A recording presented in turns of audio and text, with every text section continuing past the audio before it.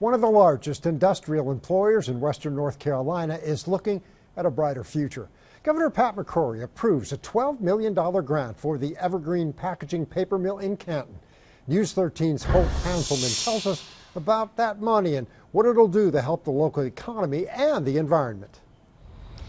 The EPA has ordered this plan to update some high polluting boilers with cleaner gas powered ones.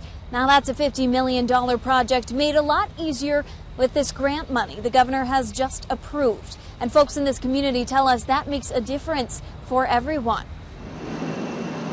Guess the American dream lived out in Canton is a, is a paper mill. For many in Canton, the steady stream of smoke coming from this mill is a sign their economy is still chugging along. It's the biggest industry around here. It's, it's the biggest opportunity a lot of people have had. Five generations of Austin Thompson's family have kept the production going, and he hopes to pass down that pride in his work. To have this in a healthy state to pass on to our children, um, my child or, or anybody's child. Um, I think that's that's number one. It's paramount. Now, state leaders have stepped in to protect both the economy and the environment.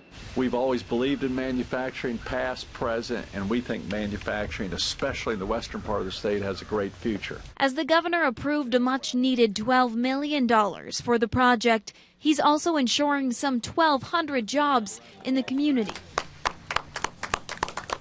the effects of which go round and round in Haywood County. And dozens gather at Camp Hope this weekend to celebrate their successes. These people are the ones that come and buy my products, you know.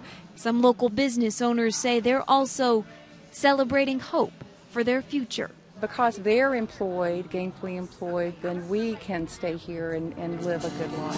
Long live tomorrows, At the end of the day, that paper mill is a beating heart of this community. But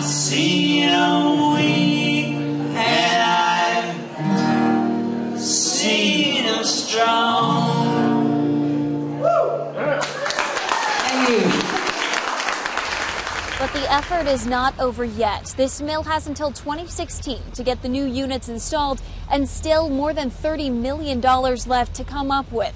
In Canton, Hope Hanselman, News 13.